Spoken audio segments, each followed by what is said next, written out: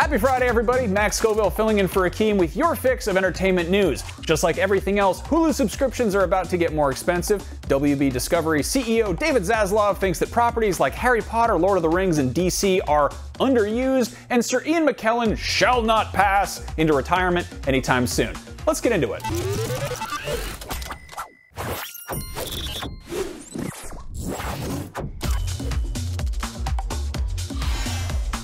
Do you like saving money? Well, if so, I have some terrible news for you. The price of Disney Plus and Hulu subscriptions are both officially going up next month. This isn't coming totally out of left field. It was hinted at in an earnings call and officially previously announced, but Hulu subscribers are just now getting an email and in app notification that these changes are taking effect, and unsurprisingly, nobody is too happy about it. Starting on October 12th, Disney Plus's ad-free price will increase from $10.99 a month to $13.99, and Hulu's ad-free plan will go from $14.99 a month to $17.99 a month. The ad-supported tiers of Hulu and Disney Plus, which are both priced at $7.99 a month, will stay the same for now.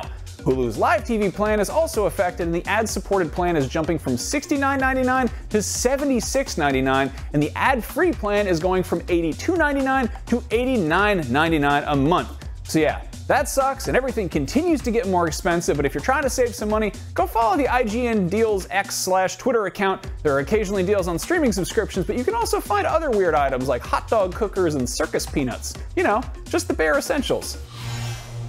Speaking of massive media conglomerates doing things to annoy us while making their shareholders richer, David Zaslav, the guy who's been running Warner Brothers Discovery since the merger finalized last year, commented on how the company has been handling some of its most iconic properties like Harry Potter, Lord of the Rings, and DC, and apparently they're being underused. The Wrap reported that while speaking at the Goldman Sachs Communacopia and Technology Conference, a real event that someone got paid to name, Zaslav stated, quote, "We talk about the great IP that Warner Brothers owns, but for us, the challenge is that our content, our great IP, Harry Potter, DC, Lord of the Rings, that content has been underused. Now, before you roll your eyes so hard you get dizzy and fall out of your chair, hold on because it gets worse. Zaslav elaborated saying, quote, We haven't done anything with Harry Potter for more than a decade. We haven't done anything with Lord of the Rings. We think there's a lot of shareholder value in attaching a 10-year DC, uh, a real plan around DC, bringing Harry Potter back to HBO for 10 consecutive years, doing multiple movies of Lord of the Rings things. Okay, so maybe what Zaslav is saying isn't flat out wrong, but let's break it down a little bit. If you're talking about Harry Potter as in the boy who lived, the character, and then the events that took place in the seven books and eight movies that bear his name, then sure, the last thing that WB did on the movie front was the Deathly Hallows Part 2 back in 2011.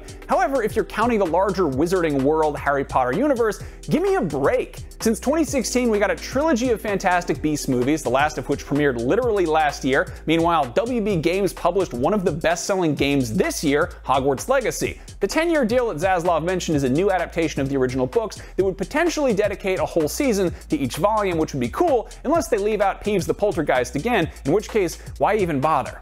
As for DC, that property hasn't been dormant by any stretch of the imagination. Just in terms of feature films theatrically released this calendar year, we've gotten Shazam, Fury of the Gods, The Flash, and Blue Beetle, and Aquaman and the Lost Kingdom is still slated for this December, though that could change. Last year, we got The Batman and Black Adam, and we would have gotten Batgirl had it not been relegated to streaming and subsequently canned by Zaslav himself as a tax write-off. Again, this is just on the live-action movie front. There's also a steady stream of direct-to-video animated movies, shows, both live action and animated, and of course video games. Oh, and I think DC still makes comics. Now, regarding WB's handling of some DC properties, I could agree with saying they're misused, but underuse really doesn't seem to be the issue here.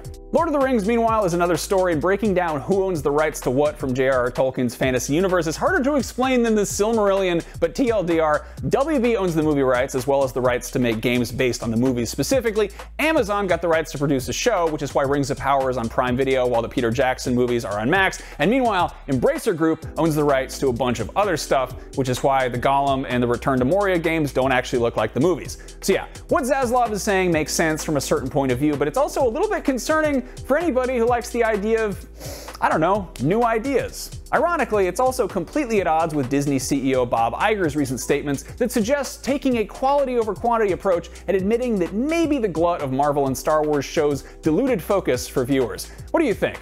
Are we ready for Tom Bombadil, a Lord of the Rings story? I think we are. I think get Lin-Manuel Miranda to do a Tom Bombadil movie.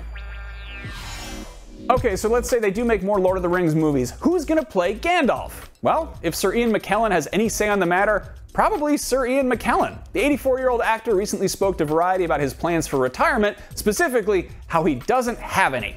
The actor responded, quote, retire to do what? I've never been out of work, but I'm aware that any minute now something could happen to me which could prevent me from ever working again. But while the knees hold up and the memory remains intact, why shouldn't I carry on? I really feel like I'm quite good at this acting thing now. So yeah, the real question now is which role will he reprise first? Gandalf, Magneto, or the fan favorite feline Gus the theater cat from Cats.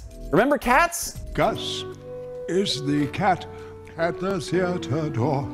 I know you were trying not to, but I thought I'd remind you. That is your entertainment fix for Friday, September 8th, 2023. If you like Godzilla or Kurt Russell, go check out the trailer for Monarch Legacy of Monsters. And if you don't like Godzilla or Kurt Russell, well, I say good day to you.